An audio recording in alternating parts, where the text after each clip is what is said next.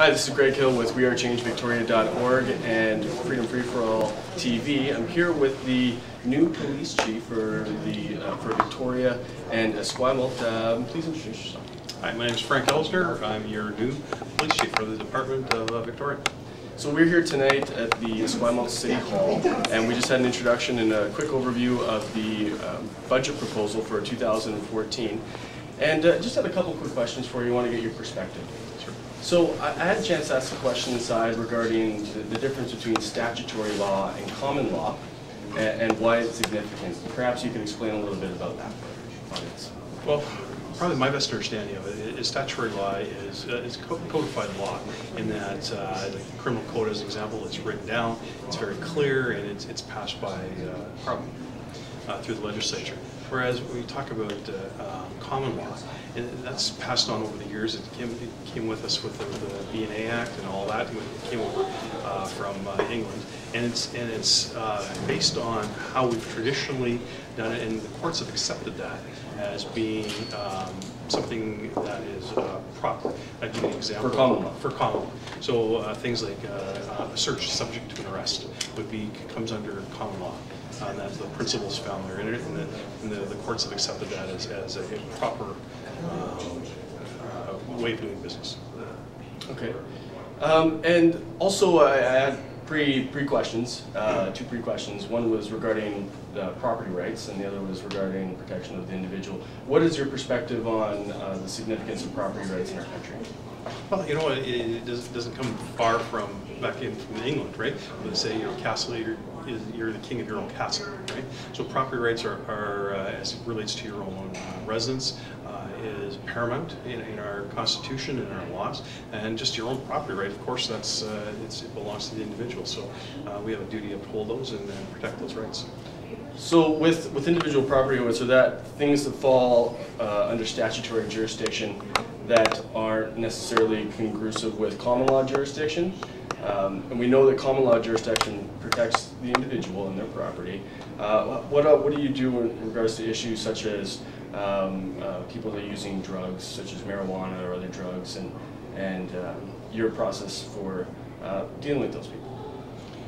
You have to be a better example, right? It just uh, like well, with the new Sensible BC campaign, we have the legalization of, of marijuana. Uh, how come it's not always been something that you, as a personal being, uh, have property rights over yourself uh, and over your actions? Why is there? Why do the court? Why do the police take it upon themselves to uh, put people behind bars at the barrel of a gun to uh, stop them from smoking marijuana? Well, that's not the case. But it is. It, well, it really is, right? It, it, that's that's great rhetoric, but it's not. Um, people smoking marijuana isn't. Uh, if you start looking at the uh, actual simple possession charges in this country, very few of those are ever uh, ever before the courts. The courts just can't handle it anymore, right? Legislation is still pretty clear. You can't possess marijuana, right? As much as uh, society now is changing, I think you're going to see that more and more. And so I think over the last, probably the last five or six years, police have be, you've seen a, a, difference in the attitudes because the courts are even saying it's not as uh, this is not something we want to see here, and the, the public sentiment is changing. And so uh, for us, before we bring somebody to before the courts, uh, we want to make sure that it's something that the courts want to see, it's something that's prosecutable, uh, and it's within the, the public and what they want to see from from the police. And so, uh, you know, when you talk about the barrel of a gun, uh, you know, unless there's some safety issue that's that, and somebody smoking a joint is not that case, right? And so, um, you know, it's still, we, we, still work, you know, the police are always the meat and the sandwich, right? Uh, public sentiment is this, the law is still this, and what we're trying to say is, you know, some help us um, uh, through government, through legislation, through public policy to um, figure out how you want us to um, enforce the law. Just because the public, a big segment of the public says, you know what, we don't think it's, it's bad to uh, um, smoke marijuana. You know what, I, Prime Minister's never called me and asked my opinion. It doesn't matter, right? The law is pretty clear on how, and so, you know, our officers are really trying to uh, walk a tightrope here to, to allow uh, people their freedoms, as you're talking about, but at the same time uh, being true to, we have a duty and an oath that we have to uphold. Right. And so I, I appreciate what, what you're saying.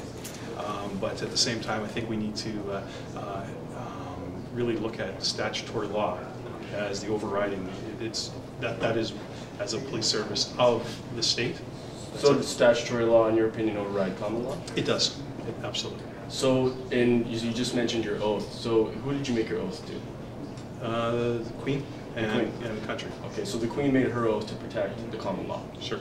Okay, so that would, that would uh, override any other subsequent statutory law. You know what? So if you made your oath to the Queen, then you should be abiding by. And again, it's semantics. Uh, Interesting point, but uh, you know what, at, at the end of the day, um, you know, that's a decision that the courts would, would, would do. Uh, And again, they're not asking my opinion on it, they're saying, here's, here's what we want you to do and how we want. And so the, the tightrope, again, the, the dance with our officers is to, to be uh, respectful of the way public sentiment is, is starting to change, right? And, uh, but do that within a framework that we're bound by. And so that's what we're trying to do. Okay, thank you so much for Yeah. chatting with us today. Uh, welcome to welcome to the team. I'm Greg Hill with WeAreChangeVictoria.org and Freedom Free for All TV. See you next time.